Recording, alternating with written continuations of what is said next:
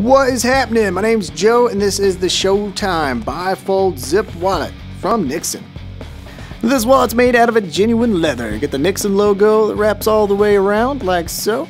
On the interior we have a zipper pouch. Got a little gusset there so you can really fill it up and it's got that little protector flap right there to help against wear.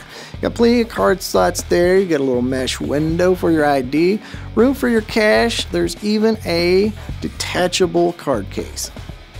Now you can show them it's showtime every time you whip out your wallet. Pay for dinner. It's a great versatile piece right here. It's from Nixon.